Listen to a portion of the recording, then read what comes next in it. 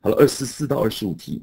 Here is the preface of Nick Foster's new book, Married to Food。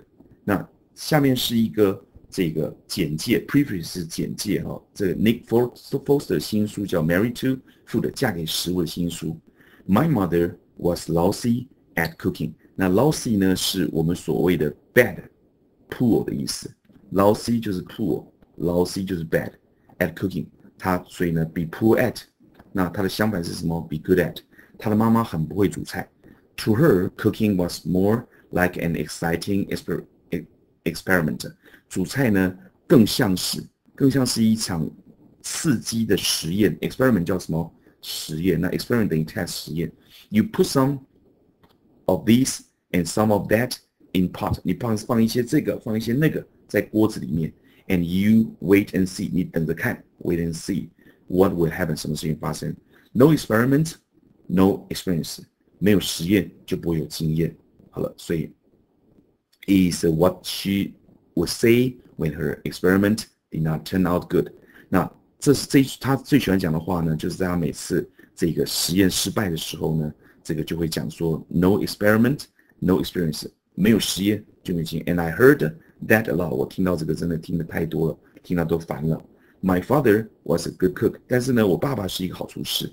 He loves to cook，他喜欢煮菜。He often said，他经常说，that he got my mother to marry him with a table of delicious food。他说他能够让妈妈嫁给他呢，是因为他有一桌美味的菜，not with a beautiful ring，而不是用一个漂亮的戒指。A family need only one good cook。一个厨家庭只要一个好厨师就好了。He said，他说，所以他说妈妈不用会煮菜，只要爸爸会煮就好了。一个家里面只要一个人会煮就好了。Now I'm cook myself。现在我自己已经是一个厨师了。I have my own restaurant。我有经营自己的饭店。I learn。我终于知道 how to cook from my father。我从我爸爸那边知道怎么煮菜。Of course，当然，from him，从他那里 ，I learned the art of cooking。我学会的煮菜的艺术。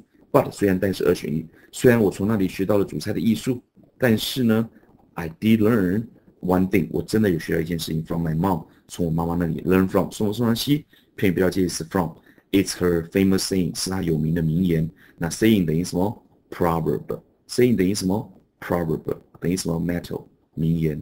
好了，所以这个名言是什么呢？No experiment，no experience。没有实验就不会有经验，所以呢，要大胆尝试。小心求证哈，可以让他做玩出很多创意的料理来。那我们看第二十四题，What does it mean？它意思是什么？What does it mean？它意思是什么？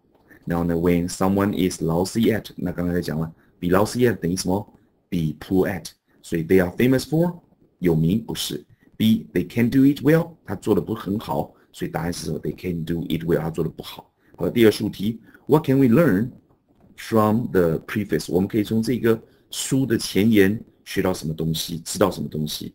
How Foster start his own restaurant？他怎么开始他的自己的饭店？没有。B When Foster's father married Foster's mother？爸爸什么时候娶了妈妈？也没有。C What Foster's mother told him about cooking？ 那这个文章这个前言是告诉了大家 Foster 的妈妈怎么教他有关煮菜的这件事情。那猪。How Foster learned the art of cooking from his father？他怎么样学到了煮菜技巧？从爸爸那应该是比较强调什么？强调是妈妈的这个煮菜的这种 no experiments, no experience 的这种这种煮菜的哲学，一种大胆尝试不怕失败的哲学，好，对他影响很大。